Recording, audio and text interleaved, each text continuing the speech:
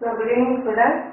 Uh, now we want to see part 61 and this is for 11th standard general math uh, relations, test relations function plus exercise 1.2. Discuss reflectivity, symmetry and transitive. You are given the relation uh, m divides n. m divides n ங்கிற relation கொடுத்துருக்கு அதை நம்ம எப்படி denote பண்ணுவோம் m is related to n அப்படின்னு சொல்லி divide பண்ணுவோம் so இந்த இதுக்கு நம்ம first we consider Z equal to one two three ஏன்னா பாசிட்டிவ் இன்டிஜர் கொடுத்துருக்கு இல்லையா? ஸோ பாசிட்டிவ் இன்டிஜர் அப்படின்னா ஜீரோ விட்டணும் நெகட்டிவ் விட்டணும்.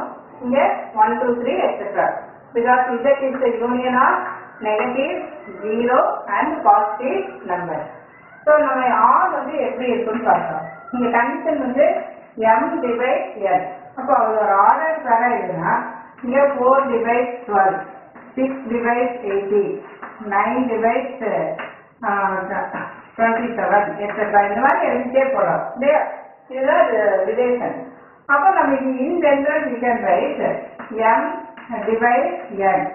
இந்த இடத்துல வந்து m divide n where m comma n belongs to z. For all m comma n belongs to z.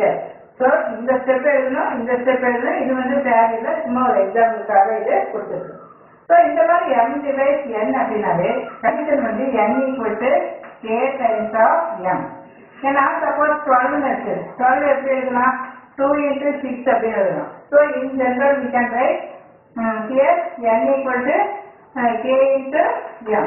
So every time you know this n அப்படிங்கிறது larger. இது வந்து larger. இது வந்து ஸ்மாலர் அது வந்து நம்ம கண்டிப்பா ஞாபகத்தில் வச்சாதான் எண்ணுக்கு எம்முக்கு m-க்கு டிஃபரன்ஸ் தெரியும். எண்ணுங்கிறது பிக் நம்பர் எம் அப்படிங்கிறது ஸ்மால் நம்பர் சம்டைம்ஸ் ஈக்குவலாகவும் இருக்கும். அது அது ரிஃப்ளெக்ஷன் நமக்கு வரும். ஸோ ஃபர்ஸ்ட் கண்டிப்பாக என்ன இருக்கணும் ரிஃப்ளெக்டிவ் ரிஃப்ளெக்டிவ்னா அது அதுக்கே ரிலேட் ஆகுது. M is related to M it's so for M belongs to Z நம்ம z தான் ஃபர்ஸ்ட் எடுக்கணும். Every time we start from z only நமக்கு கண்டிஷன் என்ன கொடுத்துருக்குது? ஆர் என்ன கொடுத்துருக்குது? M டிவைட் இந்த இடத்துல n கூட என்ன எழுதணும்? M லே எழுதணும். ஏன்னா நம்ம ஒரே ஒரு எலிமெண்ட் தான் எடுத்துக்கிறோம் ஒரே ஒரு எலிமெண்ட் எடுக்கிறப்போ m டிவைட் m லே தான் எழுதணும். M n ரெண்டு எடுத்துருந்தா இங்க n வரும்.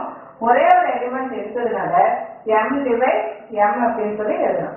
இந்த மாதிரி எழுதா இந்த கண்டிப்பில் என்ன எம்ஏ கொடுத்து டு ஆர் இங்க m ஈக்குவல் இது எப்படி எழுதலாம் ஒன் இன்ட்டு எம் அப்படின்னு எழுதலாம் இல்லையா? ஸோ இந்த மாதிரி கண்டிஷன் சாட்டிஸ்ஃபை ஆனால் immediately you can write order pair M comma N belongs to R ஒவ்வொரு டைமும் ஒரு ஆர்டர் பர் நம்ம காட்டணும் இப்படி இது வந்து ஆர் இருந்தா இது imply M is related to M so இது imply R is reflective so நம்ம இப்போ ரிஃப்ளெக்டிவ்ங்கிற கண்டிஷன் நம்ம இங்க இந்த இடத்துல கொண்டு வந்துட்டோம்.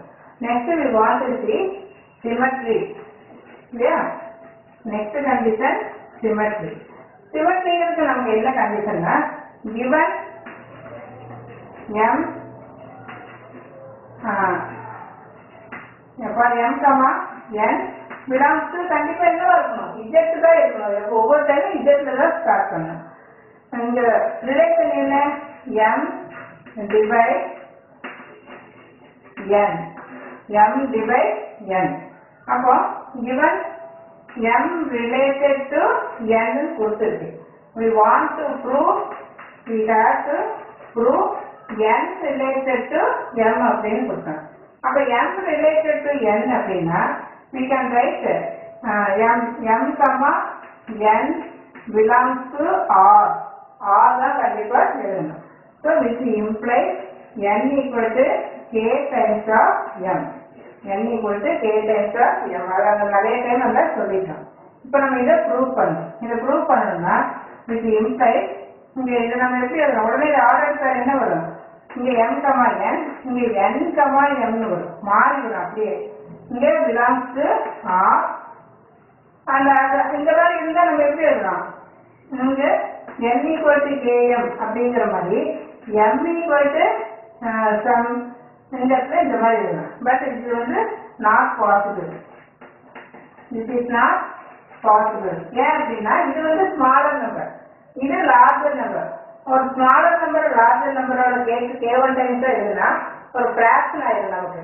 ஏன்னா இப்போ வந்து ஃபோர் டிவைட் டுவெல் அப்படிங்கிறப்ப it is a fraction but fraction வந்து நாட் பிலாங்ஸ் டு இதர் இதர்ல வர்றது எல்லாமே ஹோல் நம்பரா இருக்கும். ஸோ இது நாட் பாசிபிள் அப்படிங்கிறதுனால N not related to m. Therefore r is not reflective இது உங்களுக்கு தெரியாத வீடியோல ஸோ இந்த இடத்துல எழுது இது imply R is not not reflective symmetry R is not symmetry அப்படின்னு சொல்லி வரும். So next we want to prove so இது வந்து நாட் சிமெட்ரி அப்படின்னு so next we want to prove transitivity இல்லையா ஸோ மூணு கண்டிஷனும் இருந்தால் மட்டும்தான் இந்த இது வந்து ரெஜிஸ்டர் ஆகும் அப்படின்னு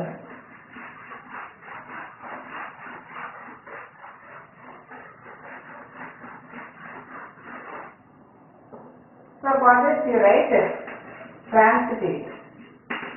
Transitive அப்படிங்கிறப்போ என்ன கொடுத்துருக்குது? For m comma n comma r belongs to z. What is given? Given m related to n and n related to r. We have to prove. We have to prove m related to r. இது வந்து இதுக்கு relate ஆகுது அப்படின்னு சொல்லி prove பண்ணணும் இந்த மாதிரி உடனே நமக்கு என்ன தெரியும்? இதோட ஆர்டர் பேர் என்ன? M comma N belongs to R இதோட order pair N comma R belongs to R so போது இந்த மாதிரி ஆர்டர் பேர் வந்தாரு. இமீடியட்லி இதில் write N equal to K times of n. வந்து இங்கே. எப்பவுமே இந்த செகண்ட் தான் ஃபர்ஸ்ட் எழுதணும் so R equal to from K one times of n so இந்த n அப்படிங்கிறது வந்து ரெஸ்ட் அப்படியே சப்ஸ்டிட் பண்ணுறதுல சப்ஸ்டிட் பண்ணி ஸோ தேவன் ஒன் டைம்ஸ் ஆஃப் என்னுக்கு நம்ம என்ன எழுதுறோம் K N so this is K K one N இங்க R. இந்த மாதிரி நம்ம கான்ஸ்டன்டா எழுத முடிஞ்சாலே ஸோ இந்த மாதிரி எழுத முடிஞ்சாலே with imply for so with imply M comma ah belongs to R இந்த மாதிரி ஒரு கண்டிஷனை சாட்டிஸ்ஃபை பண்ணா இதனுடைய ஆதார் கார்டு என்ன வருது? M comma R belongs to R இதெல்லாம் நம்ம ப்ரூவ் பண்ணணும். So M comma R belongs to R implies M is related to R அப்படின்னு சொல்லிட்டோம். தேர்ஃபோர் இங்க என்ன ஆரம்பிச்சோம்? M related to n n related to r it implies m related to r.